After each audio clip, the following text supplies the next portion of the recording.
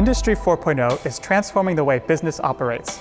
The combination of domain expertise, automation, Internet of Things or IoT, and artificial intelligence creates a smart automated system that is capable of learning from itself and making its own decisions. UTS is applying Industry 4.0 principles to create a first-of-its-kind industrial microalgae production facility. Algae is a sustainable source of food supplements, pharmaceuticals and biofuels. As current production methods are disjointed and inefficient, UTS research collaboration between science and engineering will accelerate the scaling up of algae production from the laboratory benchtop to a robust, industrialized, fully automated process.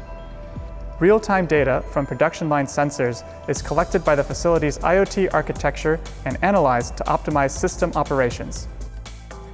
The data is used in a digital twin to accurately test new production methods before deployment, reducing time, waste, and cost inefficiencies. Laborious and hazardous tasks are performed by two robots. The addition of a motion capture system facilitates seamless human-robot collaboration.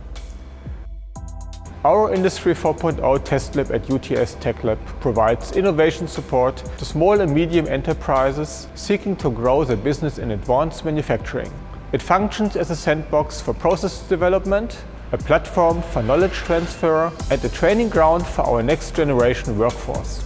Industry partners can specialize in production control and insights that improve predictive maintenance, identify bottlenecks in advance, and reduce general operation time.